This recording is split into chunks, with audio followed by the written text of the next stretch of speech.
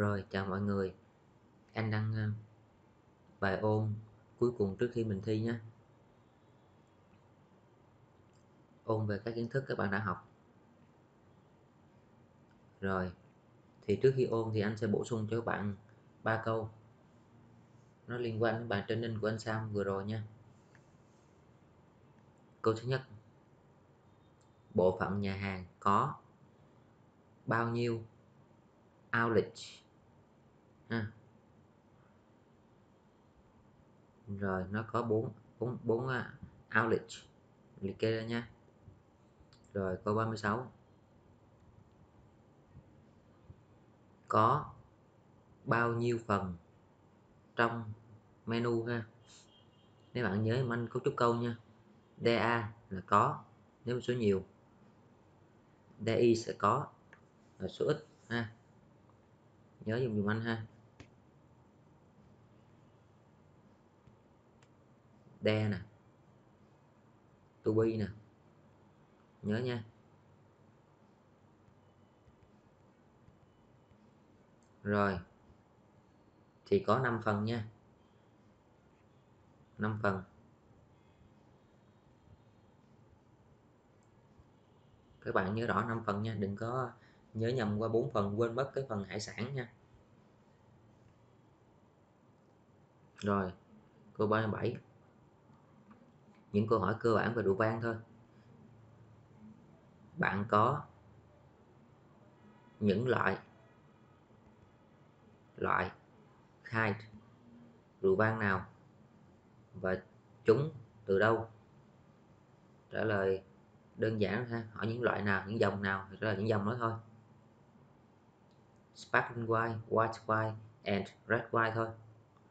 Rồi, khi nào mà người, mà câu hỏi là what? Wine rượu vang nào á? Bỏ cái từ, bỏ bỏ bỏ cái từ này đi. Đó. khi nào người ta hỏi là what wine rượu vang nào á? Rượu vang gì á? Mà bạn có thì các bạn liệt kê đó ha. We have. Đó, sparkling wine liệt kê tên gì? White wine liệt kê tên gì? Red wine liệt kê tên gì ha? Có nghĩa là cần phải liệt kê rõ luôn nha. Dĩ nhiên không phải cần liệt kê hết luôn, mà từng loại, từng từng chai luôn, mà nên liệt kê một số chai còn cái này nó hỏi là dòng gì mà bạn có? Thì mình kể dòng ra thôi ha. Còn nếu mà cái này mấy bạn kể dòng rồi, mấy bạn liệt kê luôn tên của các chai rượu đó, thì càng tốt thôi. Càng nhiều càng tốt, không vấn đề gì hết. Nhưng mọi người đừng có làm nó phức tạp, vấn đề quá ha. Rồi, bây giờ mình trả bài à, ôn kiểm tra nè. Vừa rồi nè.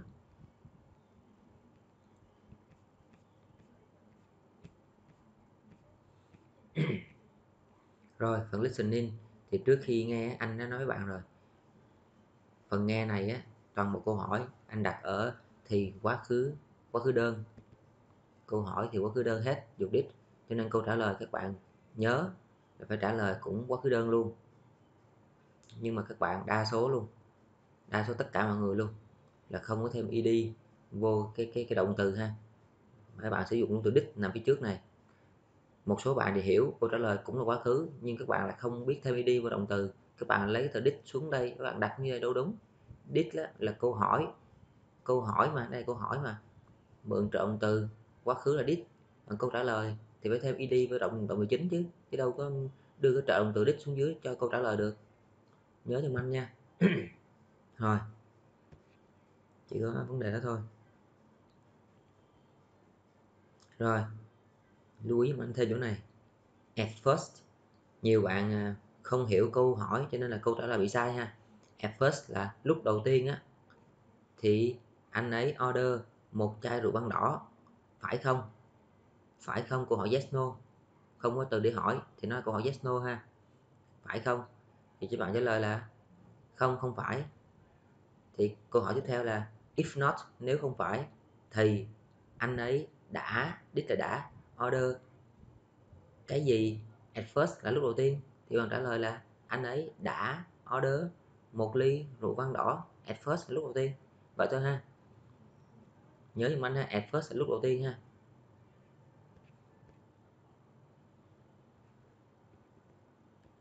Câu số 5 nhiều bạn làm sai nè. Lưu ý là giùm anh nè. Anh ấy đã order khai vị phải không? Không, anh ấy không order. Cái này chính xác nếu không anh ấy anh ấy đã có hoặc đã dùng cái gì trước bữa ăn. Thì câu trả lời là anh ấy đã dùng rượu vang trước bữa ăn thôi đúng chưa? Bởi vì mình đã thông báo á, cái à, món ăn cái bò bít tết á thời gian hơi lâu. Tuy nhiên khách không có muốn à, không có nhu cầu à, khai vị. Thì khách trả lời là khách dùng rượu vang trước bữa ăn ha hoàn toàn là hợp với văn hóa ăn uống ẩm thực của người phương tây ha dùng rượu vang thức quan ăn đó chuyện bình thường không vấn đề gì hết. Rồi mấy bạn nhớ anh ha nhiều bạn sai câu số 5 rồi. Qua phần writing. Câu đầu tiên câu số 1 y chang phần nghe ở trên. Người ta hỏi là did resort mở cửa khi nào có nghĩa là khai trương khi nào dùng did làm là thấy quá khứ rồi. Nghĩa là, là sẽ trong, trong quá khứ á, là khai trương khi nào á, thì các bạn trả lời cũng là khai trương ha. Thêm đi vô ha. Câu trả lời thì đúng nhưng mà cái thì sai. Khi các bạn không có thêm id vô thì có nghĩa là nó mở cửa. Có nghĩa là người ta đang hiểu là nó hoạt động nó mở cửa. Thì lại để ra nó là câu số 2 mới đúng. Đó các bạn nhìn nên nhớ thêm id giùm anh ha. Để phân biệt rõ hai câu số 1 câu số 2 ha. Rồi câu số 2 thì các bạn có thể trả lời all day cũng được. 24 trên 24 cũng được. Hoặc là 24 hours cũng được. 24 trên 7 thì nó hơi khó hiểu. Là 24 giờ trên trên 7 ngày trong tuần, nó hơi khó hiểu, thì các bạn có thể bỏ cái đó đi. 24 xịt 24 hoặc là 24 hours, hoặc là all day như trên màn hình ha, như thế nào cũng được. Rồi. Lỗi tiếp theo các bạn gặp là cái thời gian khi các bạn nói là nó mở cửa từ mấy giờ tới mấy giờ thì các bạn nhớ mình from to ha from uh, from to ha. Các bạn hai mốc thời gian mà các bạn dùng at at 7 am to 10 pm không đúng mà phải from to. Còn at là chỉ là chỉ một thời điểm thôi một thời gian thôi nha. Rồi cái chỗ này what are their names? Tên của chúng là gì ha? Đây là của chúng có nghĩa là đang sử dụng đại từ sở hữu của chúng ha thì trả lời là tên của chúng là gì? Trả lời là chúng là ha đây ha chứ không không không được dùng đen nữa ha. Là đây ha không được dùng đen nữa nha.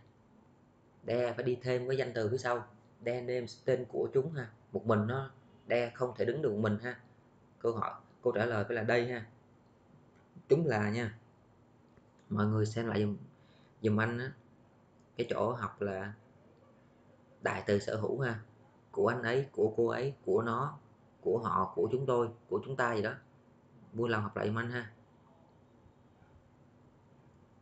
Rồi. Rồi, mọi người về, mọi người xem lại dùm anh cái cái cái chỗ mà đại từ sở hữu nha. Rồi lỗi mấy bạn à, thường gặp tiếp theo là à câu số 4 câu số 4 thì à, uh, các bạn có hỏi uh, anh Tuấn à, um, anh Tuấn trưởng ba rồi ha? Thì anh Tuấn nói là cái giờ mở cửa ngoài La Cama thì là 10 giờ nha 10 giờ sáng sau giờ buffet. Rồi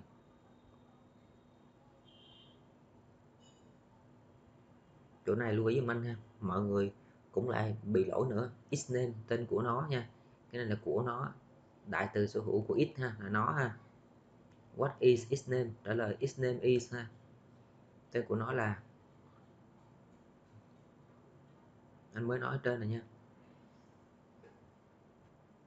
Rồi, cái thời gian này, nhớ có hai cách trả lời thời gian. Một là am và pm hai là trả lời theo kiểu giờ của mình á, mười mấy giờ, mười mấy giờ hai mấy giờ thì chọn một trong hai cách thôi ha, đừng sử dụng lẫn lộn nha.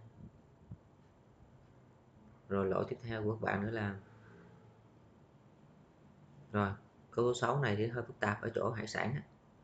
nó hỏi là what kinds of seafood là những loại hải sản nào bạn có? Thì như loại ốc nè, loại sò nè, loại cá nè, loại à, loại tôm gì đó.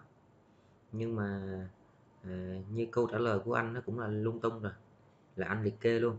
Cho nên câu trả lời của anh cũng đã không có với câu hỏi của anh rồi. Mà bởi vì cái này nó hơi rối hải sản nó hơi rối cho nên các bạn trả lời anh còn cũng làm làm lộn nữa. Thì các bạn có trả lời mà lỡ lộn ừ, cho người ta hỏi loại mà các bạn liệt kê giống như anh đang bị lộn đây thì cũng không vấn đề gì ha. Khó quá bỏ qua đi chủ yếu mình à, đừng có chú quá chú trọng vô cái cái, cái ngữ pháp. Mà đâm ra mình làm khó mình quá là mình nản nữa.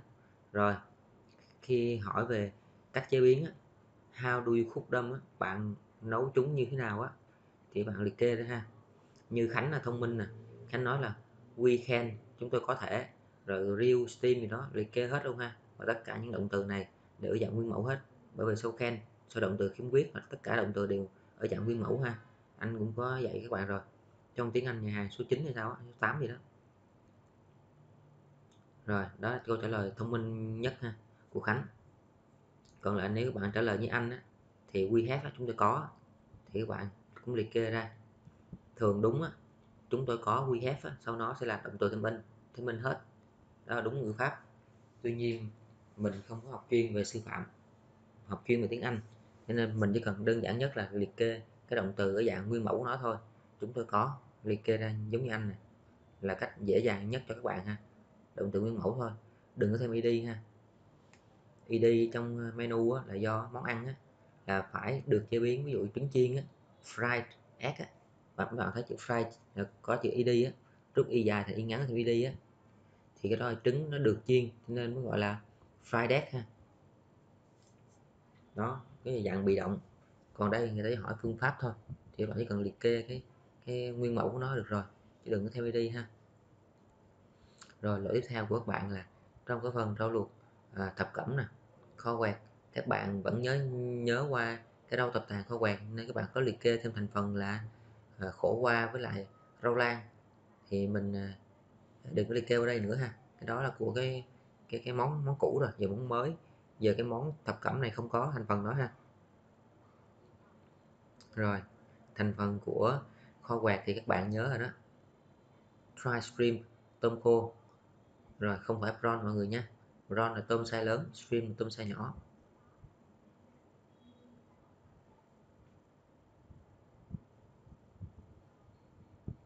Đây, cái chỗ hành lá. Hành lá thì spring onion là anh dạy. Ngoài ra các bạn còn có học nguyên dạy với cô giáo dạy là green green onion ha. Green là màu xanh đó mọi người. Vẫn được ha. Vẫn là hành lá ha. Green onion. Rồi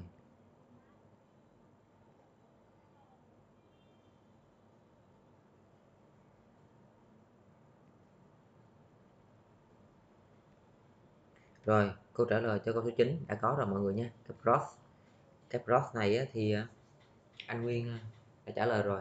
Nó dùng cho tất cả các loại canh luôn không phân biệt canh chay canh mặn. Vậy là mình câu trả lời cho câu số 9 á.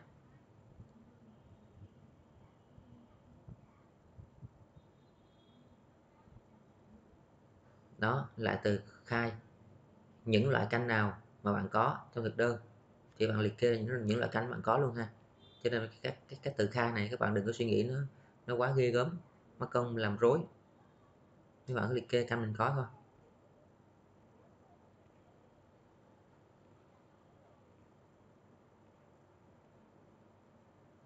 Đây có bao có bao nhiêu loại súp đây?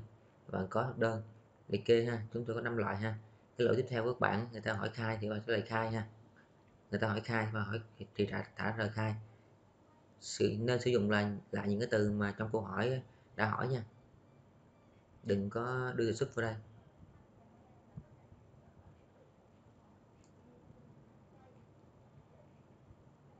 Rồi à, cái lỗi tiếp theo của các bạn nữa là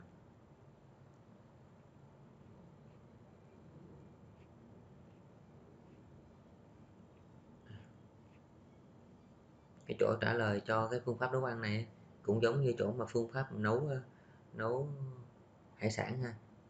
Nên sử dụng cách sẽ nó rồi nha. Mọi người có gì quay lại nghe nha. Rồi, phương pháp pha chế, cách liệt kê như thế nào cũng giống ở trên.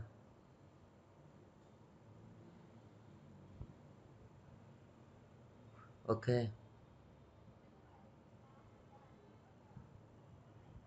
Những loại thức ăn chay nào bạn có trong thực đơn? Liệt kê luôn ha từ hai trường hợp này các bạn cứ liệt kê đi. Nói chung bây giờ cho đơn giản các bạn cứ liệt kê đi cho đơn giản. Khỏi cần suy nghĩ đến nó dòng nào hay nó thuộc chủng loại nào nó phức tạp quá cứ liệt kê đi. Mình học đơn giản vậy thôi. Rồi về cái mà quầy pha chế về thức uống á, thì các bạn à, xem lại giùm anh anh có đăng bài rồi nha. Tiếng Anh nhà hàng số 9 số 10 nha. Tốt nhất mình à, cứ ôn lại càng nhiều video càng tốt ôn bài để à, mình chuẩn bị thi nữa. Thi lớp của anh thì không quan trọng mấy đâu quan trọng lớp của anh Sam á. Để quan trọng là bài thi của anh Sam á. Rồi à, về cái phần à, trả lời cho cái thức uống á, các bạn nào mà tiếng Anh á, từ vựng mà nhiều quá tốt á và kiến thức về sự khác nhau của các loại thức uống tốt á, thì các bạn có thể trả lời nó dài hơn hoặc là bằng cách khác không nhất thiết phải trả lời giống y chang câu hỏi của anh ha giống như y chang câu trả lời của anh ha. Anh anh là chỉ trả lời cái khác nhau cơ bản nhất và theo cái kiểu mà ngắn nhất để các bạn dễ học thôi.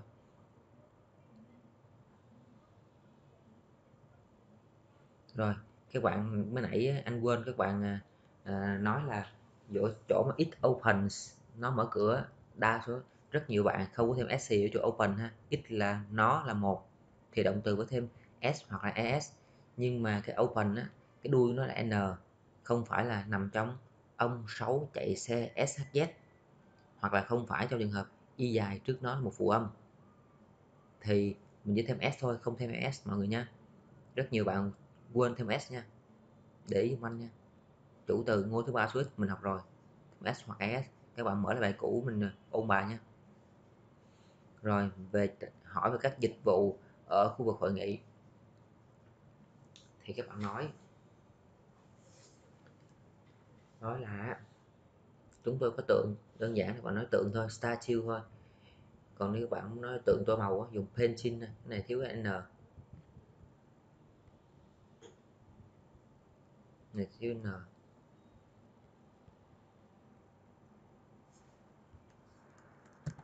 Rồi.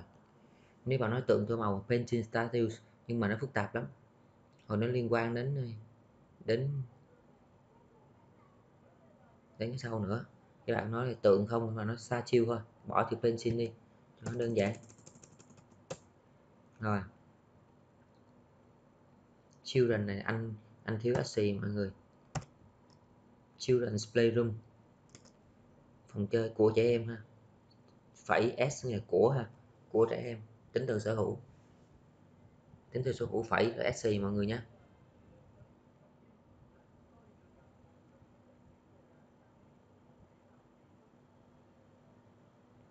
Rồi, phòng đọc sách reading room nè. Room là phòng, read là đọc. Phòng đọc sách thì thì tiếng Anh dịch ngược lại ha. Đọc sách phòng ha, đọc sách đến phòng. Tiếng Anh dịch ngược. Giống như cái phòng họp á. Phòng họp thì nó sẽ là họp phòng ha, meeting là họp, gặp gỡ, hội họp. Thì dịch lại là họp phòng ha rồi dịch vụ cho cá ăn. Cái này anh viết nhầm rồi mọi người. Dịch vụ cho cá ăn.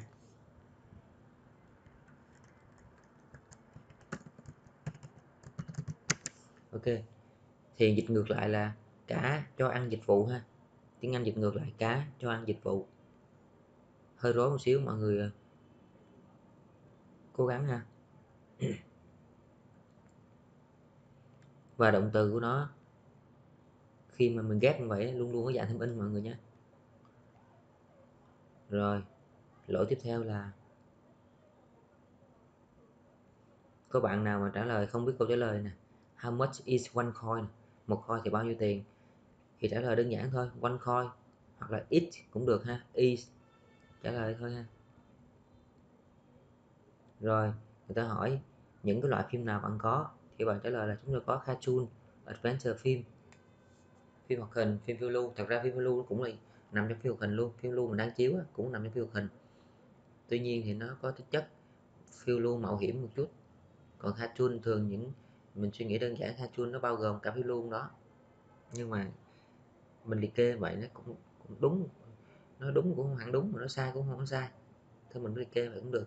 Chứ còn các bạn trả lời ngắn gọn quá, chỉ có we have cartoon không thôi thì nó thì nó hơi bị đơn điệu quá.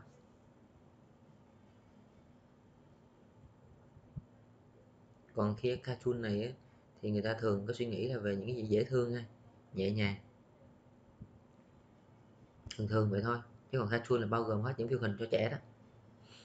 Rồi thôi mình đừng có quan trọng hóa vấn đề này. Rồi tiếp theo sức chứa của phòng chiếu phim ha. Thì các bạn trả lời ha có thể bê nguyên cái câu hỏi ra. The capacity of the cinema bê nguyên cô câu hỏi đưa xuống hoặc không? Các bạn nói ít cũng được ha ít y. Mình kể ra nha cái to be á, nó theo cái chủ từ tại sao 70 ghế số nhiều tại sao to be là y? To be này theo chủ từ mọi người nhé. Còn cái này 70 ghế này là tân ngữ. 70 ghế hoặc 70 người cũng được nha như nhau. Rồi. Lỗi tiếp theo các bạn gặp là các bạn quên mất cái khung giờ before and after midnight các bạn trả lời với bạn toàn là ghi giá tiền không à? Các bạn phải ghi rõ cái giá tiền đó ứng với khung giờ nào thì người ta mới hiểu chứ. Nhớ giùm anh ha. Lỗi tiếp theo của các bạn nữa là đây có một số bạn nói á, là sức chứa của phòng nhỏ là dưới 15 người. Các bạn ghi là is under 15 people. Bạn ghi là under ha under là dưới 15 người. Tuy nhiên dưới 15 người có nghĩa là từ 14 người trở xuống là không đúng. 15 người vẫn vẫn được ở trong ở, ở trong phòng đó mà. Chứ đâu phải là từ 14 người trở xuống đâu cho nên bạn đừng nói under và cứ nói là 15 người sức chứa 15 người. Có nghĩa người ta hiểu là sức chứa maximum là 15 người. Ngoài ra nếu mà có ít người hơn 15 người họ muốn hát phòng đó thì ok càng tốt thôi. Càng càng càng, càng dễ phục vụ thôi đâu có gì đâu. Ha mọi người đừng, nhiều khi đừng có suy nghĩ quá sâu quá sâu thì nó đâm ra lại sai.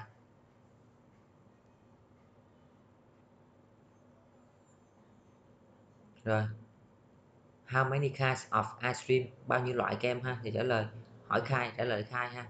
Đừng trả lời 10 ice cream ha. Nãy nói ở trên rồi.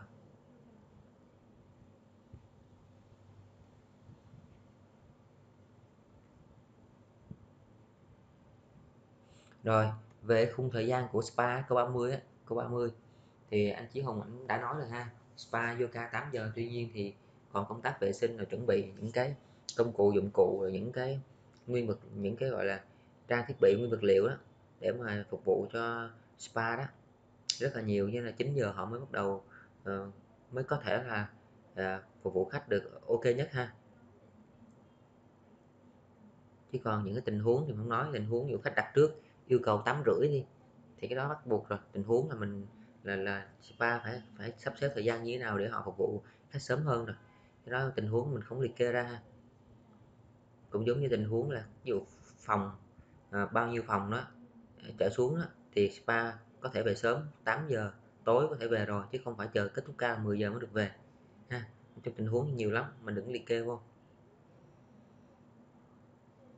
Còn cái này thì anh Chí Hùng ảnh đã góp ý ha. Mở cửa phục vụ từ lúc 9 giờ tới 10 giờ tối ha. Rồi, tên của nó là Camly Spa mọi người nha 2L các bạn à, anh cũng có chỉ các bạn rồi ha.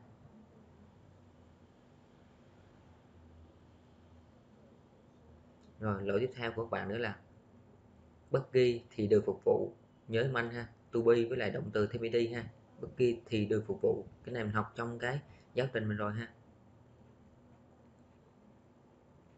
Rồi về cái câu số 32 hồ bơi. Hồ bơi người ta hỏi là how many swimming pools có do you have? Bạn có bao nhiêu? Hồ bơi. Ha. thì nếu các bạn nhớ được thì càng tốt. Hồ bơi mình có hai hồ bơi và một sân chơi nước như câu trả lời của anh nha. Còn tuy nhiên các bạn nào uh, gộp chung luôn là ba hồ bơi cũng không có sai. Tuy nhiên thì nó nó cũng không đúng theo ý của Nguyên lắm. Ha. nếu bạn nhớ được thì càng tốt nha. Hai hồ bơi một xuân chơi nước trẻ em. Rồi cách trả lời về độ sâu. Cách trả lời về độ sâu thì mình đã học trong cái bài à, tiếng Anh nhà hàng gần đây nhất là số 9 hay số 10 rồi nha. Xem lại anh cố đúc câu nha. Tại vì các bạn trả lời về độ sâu á, là xa nhiều lắm. Cấu trúc câu xa nhiều lắm. Các bạn chưa chưa học bài hay các bạn quên bài đó không biết nhưng mà nhớ ôn lại nha. Rồi giới thiệu về vị trí. Đây một số cái trạng từ chỉ ờ, vị trí.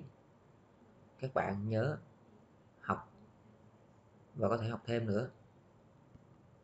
À, to be opposite to đối diện với cái gì đó nè. Near nè. Next to nè next đi với to nha mọi người nha. Next đi với to nha.